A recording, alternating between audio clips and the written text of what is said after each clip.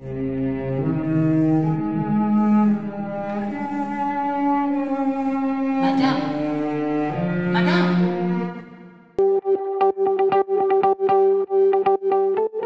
νέο μου τραγούδι λέγεται Unloved και το έχει γράψει ο Άλεξ Παπακοσταντίνου, Γιακού Μπραμή και πολλοί άλλοι. Και η σκηνοθεσία την έχει αναλάβει ο Απόλλωνας Παπαθεοχάρης.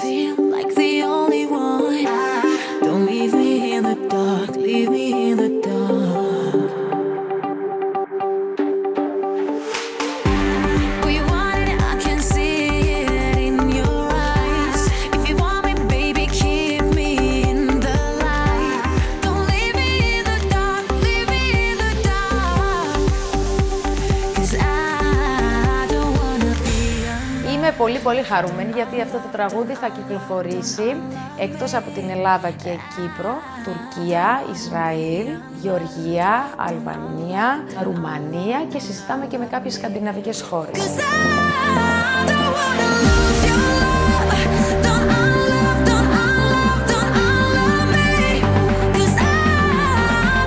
Το story του βίντεο κλιπ λοιπόν είναι εγώ με τους βοηθούς μου προσπαθούμε να βρούμε τη φόρμουλα της αιώνιας αγάπης.